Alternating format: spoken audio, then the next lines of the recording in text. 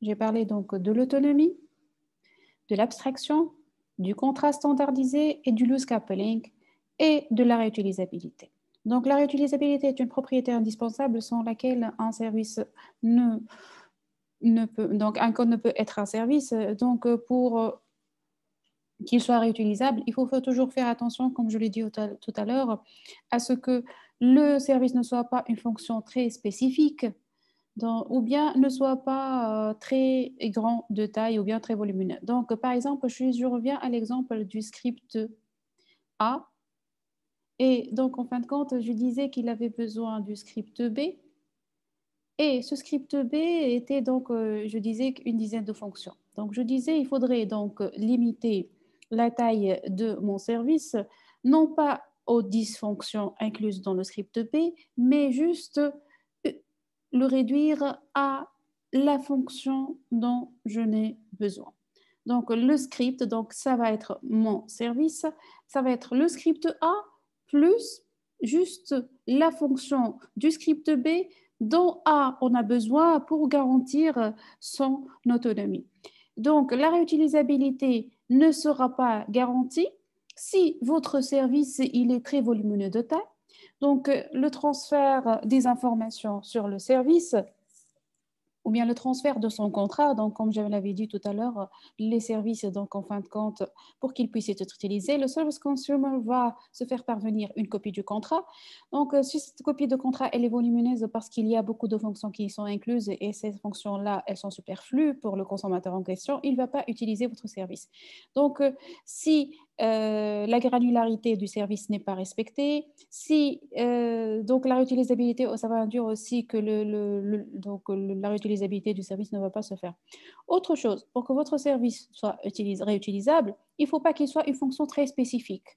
Euh, par exemple, c'est une règle de gestion dans votre système d'information. je dis n'importe quoi, par exemple, le calcul de taux de taxation pour un pays bien particulier, très spécifique. Donc, euh, si vous le transformez en un service, ça ne va pas être réutilisable à l'échelle internationale parce que c'est spécifique pour un pays bien particulier. Donc, c'est l'une des clauses de réutilisabilité. Donc, il faut bien penser côté métier. Est-ce que le métier en question, il va être réutilisable ailleurs? Et donc, c'est un service qui est susceptible d'être utilisé par autrui. Et il y a aussi la taille du service, donc la spécificité et la taille. Et un dernier point, si votre service il a été créé, mais en fin de compte, il demeure donc, déployé en interne. Donc, euh, en fin de compte, la clause le publish n'a pas été effectuée. Euh, votre contrat n'est pas standardisé et ne contient pas l'adresse du service, la réutilisabilité aussi n'est pas effectuée. Donc, en fin de compte, remarquez qu'en fin de compte, la propriété réutilisabilité, elle rejoint la propriété de loose coupling, de contrat standardisé et d'autonomie. Donc, en fin de compte, il suffit que l'une de ces conditions-là ou bien de ces propriétés-là qui n'est pas satisfaite pour qu'automatiquement vous en avez en fin de compte deux ou trois autres propriétés qui ne sont pas euh, vérifiées. Donc, ceci pour la réutilisabilité. Donc, euh, la propriété suivante à laquelle je passe, eh ben, c'est la découvrabilité ou bien la discoverability. Eh ben, un service, pour qu'il soit découvrable, un point important, donc, que je viens de citer à l'instant, c'est qu'en fin de compte, le contrat standardisé du, service doit, indiquer l'adresse, ou bien on appelle euh, le endpoint du service. Donc, faire attention entre endpoint ou bien l'adresse du contrat, ce sont deux choses différentes. Donc, le endpoint fait partie du service. Donc, euh, on va voir réellement des exemples concrets plus tard dans le cours. Donc, euh, le service, pour qu'il soit découvrable, il faut qu'il y ait une adresse et il faut que cette adresse fasse partie du contrat du service. Donc, euh, pardon, donc, euh, donc si j'ai un contrat, donc je vais essayer de mieux schématiser. Donc, si j'ai un contrat du service, donc il faudrait qu'à un certain niveau, donc ce contrat-là, il a une adresse que je dois publier, d'accord?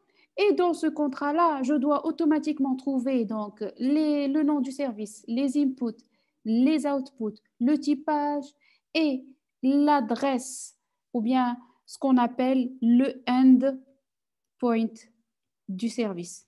Si je ne trouve pas le endpoint, eh ben, le service n'est pas découvrable. Donc, le service, il doit être découvrable.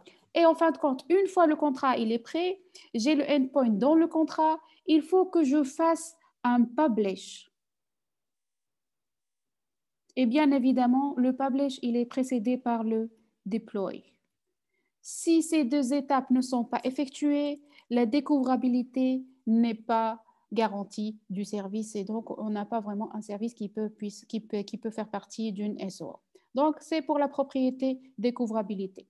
Et en fin de compte, la dernière est une propriété indispensable, c'est la composabilité. Alors, pour la composabilité, donc, en fin de compte, j'avais dit la semaine dernière, pour qu'en fin de compte, pour pouvoir mettre une SOA, eh ben, il ne me suffit pas d'avoir les web services comme technologie, il me faut un point très important, il me faut donc que tout mon processus métier soit composé de web service.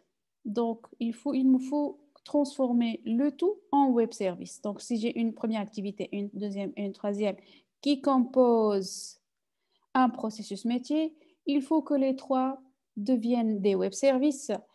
Sinon, on manque. Enfin, sinon, enfin, sinon ce n'est pas en fin de compte une SOA, mais c'est plus l'utilisation des web services comme technologie c'est la composabilité. Donc, euh, donc, et pour qu'il soit composable, euh, non seulement il faudrait que tout, donc quand je dis composabilité, ça veut dire que tous les composants de mon processus métier, c'est des web services. Donc, par la suite, si j'ai une mise à jour, je peux en fin de compte rajouter ou bien donc euh, entre deux, par exemple pour l'étape 2 et l'étape 3, j'ai besoin d'une autre activité nouvelle qui se rajoute, donc je peux la rajouter à ce niveau-là. Donc, le fait que tout soit des web services, je peux la rajouter automatiquement sans aucun souci. Donc, la composabilité, elle est garantie. Donc, et aussi, je peux avoir une nouvelle, donc une nouvelle coopération avec une autre entreprise qui a besoin justement de tout mon process, celui-là. Donc, tout celui-là, ça va être un nouveau service. Et je peux le composer avec un autre service. Donc, c'est la composabilité qui est essentiel et dont j'en ai parlé. Donc, euh, pour mettre en place une SOA, les services doivent avoir toutes ces propriétés et j'insiste surtout, c'est la propriété de composabilité. Si elle n'est pas faite, je ne suis pas dans une SOA, mais je suis juste en train d'utiliser les web services comme technologie parce qu'en fin de compte, sans les services, je vais retomber dans la dépendance des langages de programmation. Ceci pour la propriété de composabilité. Un autre point aussi, donc la composabilité, elle aussi, en fin de compte, elle est très attachée, euh, ou bien comment dire, elle est très euh, dépendante d'un aspect donc, auquel je reviens tout le temps, c'est la granularité. Donc, euh, si votre service, donc, il, est, il ne respecte pas la granularité, donc en fin de compte, il est d'une taille très importante, c'est en fin de compte, c'est encore grand et il n'est pas possible de le composer avec d'autres services. Ou bien parfois, il se peut que votre service, il est en fin de compte, il est une fonction très très spécifique, donc il est très, en fin de compte, il ne peut, il n'est pas autonome, donc il ne peut pas en compte, il ne peut pas être rajouté à un autre système. Par exemple, j'ai un système dans lequel j'ai euh, une, deux et trois activités qui doivent s'exécuter dans ce sens-là. Et eh bien, en fin de compte, si par exemple je trouve, euh, en fin de compte, pour faire la première tâche, eh ben, lorsque donc ma, l'activité de service discovery, eh ben, dans un premier service provider, j'ai trouvé un seul service qui peut le faire, alors que dans un autre service provider, j'ai trouvé quatre. Automatiquement, ça va de soi que pour cette activité-là, je vais choisir ce premier service provider parce qu'en fin de compte, ça va être un seul client alors que pour l'autre pour service provider, ça va être quatre services à la fois, ce qui est encombrant, donc quatre, donc quatre fois le même travail. Donc, la composabilité, pour la composabilité, la granularité du service, elle est un aspect très important. Donc, veuillez faire attention à ne pas créer des services qui sont vraiment très spécifiques et très petits de taille et qui ne peuvent pas, en fin de compte, s'exécuter euh, sans le besoin d'autres fonctionnalités ou bien qui sont très spécifiques. Donc là, on voit euh, la relation entre granularité et la composabilité.